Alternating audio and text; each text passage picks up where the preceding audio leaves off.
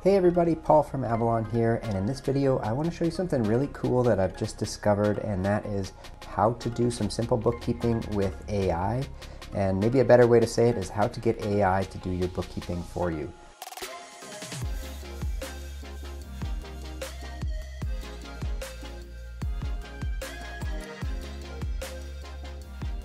It's a very simple process. All we need is maybe a Google login. So if you have a Gmail account and Google Sheets, you can use those. And then we download a simple extension in Chrome and we're good to go. First step will be to log into your Gmail account and open up Google Sheets. So you can see here I have a Google Sheet open with some transactions. I'll get to those in a second.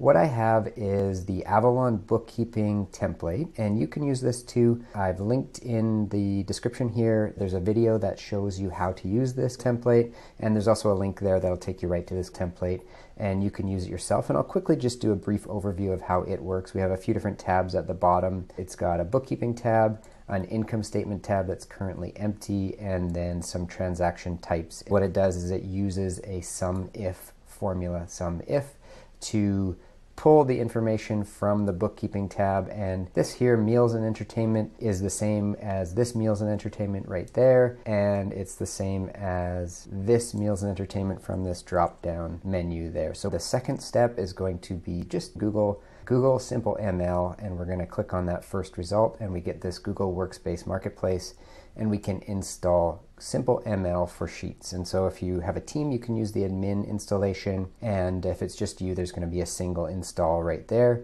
And that's what I've done. I've just used the single install. I didn't install it for the whole team. And it added this extension to my Google Sheets. So back over to Google Sheets now that we've completed that step. The next thing we want to do is just grab the transactions that we're going to use in our bookkeeping. I've just entered some sort of general bookkeeping that would be a fictional e-commerce business here. So I've got a year's worth of transactions.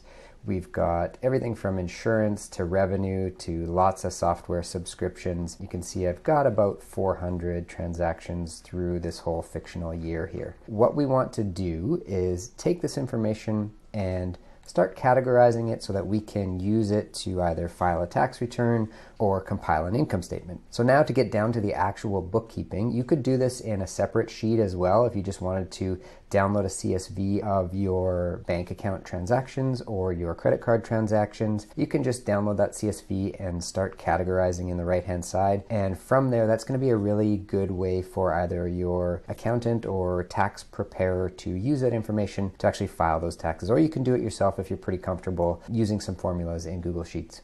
Okay, but really what I want to show is how to use AI to record these transactions. First thing we need to do is start categorizing a few of these on our own, and that's going to teach the extension how we want these categorized. So it's machine learning, meaning that it is going to learn how we do things based on a sample. So what I'll do is I'm going to categorize this first month. So the month of January, I'll go ahead and record how I want those to be categorized. And then we're going to teach this tool how to record the rest of it. And it's going to save us like 11 months worth of bookkeeping because we just need to do one and it's going to do the rest for us. To start giving the idea here, I'm going to start categorizing. This is insurance. So there we go. I've typed in insurance. I could just use the drop down as well. This is going to be software subscriptions. And again, I'm just pulling these from the transaction types and there's a drop down there. So Google G Suite is going to be also software subscriptions. You'll probably see a lot of those for this type of business. WeWork, we're going to call that rent. Amazon, this is office expenses. I mean, it could be other things, but whatever you want to classify it as. Digital River is also software subscriptions car park. We're going to call that travel. So I won't make you watch me categorize all of these transactions. So we're going to cut to me having just recorded all of those. Okay, magic of editing. I've now completed one month worth of transactions. We can see here I've got things like wages. So I have some employees, I pay them through some software called WagePoint. I have some sales that just shows up in a deposit. So I've recorded those as my revenue or my income. I've made some purchases of computer equipment. I've got some office equipment. So now that I have one month of transactions categorized, I can go ahead and I can pull up the machine learning extension. It's just in the extensions menu. I can click simple ML for sheets and then click start. It's going to do some working to get this open and then it's going to pull it up in a sidebar on the right hand side there. So we can do a few things with this extension, we can have it predict missing values, which is exactly what we want to do here. We want it to predict the rest of these transaction types for us. If we had a whole bunch of data and we wanted to check for errors, we can use it to spot abnormal values. If there are some patterns, we could run this machine learning on a set of data and it's going to try and tell us where we might have made errors or just highlight some and we can do some human powered checking instead of just leaving it up to AI here. We can also train some models, evaluate different models, but really those are advanced and I don't know how to use them. So we're going to stick with predict missing values here. So I'm going to click that one. And where do we want to predict values? That's in the transaction type column, and it's already guessed that for us because it saw all those missing values.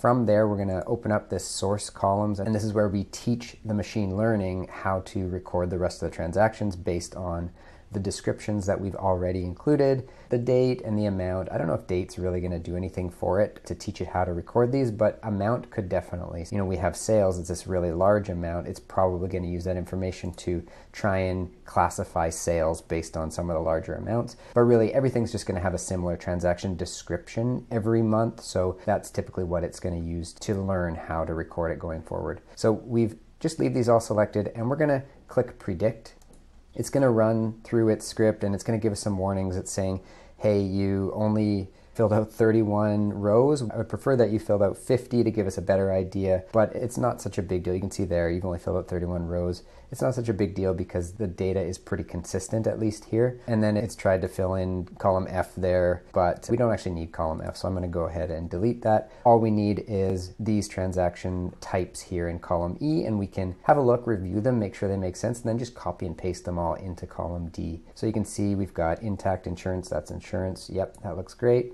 software subscriptions, all these software subscriptions. It's done a good job, except it didn't classify Facebook advertising correctly. So maybe I should have gone back and recorded more like 50 rows to get it to do it properly. So, yeah, it's probably a good idea to actually heed the warnings and fill out 50 rows instead of being a little bit lazy like I did. But it actually works pretty well. I'm going to just grab all this data, copy it, and paste it into the appropriate column that we wanted there. And here it goes in that column. And then I can delete column E. I don't need that information anymore, and I'm going to collapse this. So the next thing, I just want to show you what it's done. It's categorized all of these transactions for us. It has the sales amount. It has rent. That's accurate. I think the only major mistake I can see that it made is it's called the Facebook advertising software. And that's probably because I had so many software subscriptions, and also I didn't actually fill in 50 rows like it expected me to. So we have our income statement, we've got all of our sales, that's categorized correctly, thankfully. And then rent looks good. Software is the only one that I think a big chunk of that should be in advertising and we can correct that ourselves. Or going forward, I'm just going to teach you a little bit better by filling in at least 50 rows there. So from here, we have everything that we need to actually go prepare an income tax return. We've got our income, we have our expenses, we have this net income, and we have our asset purchases. They're dealt with a little bit differently on the tax return, so that's why we've broken those out separately.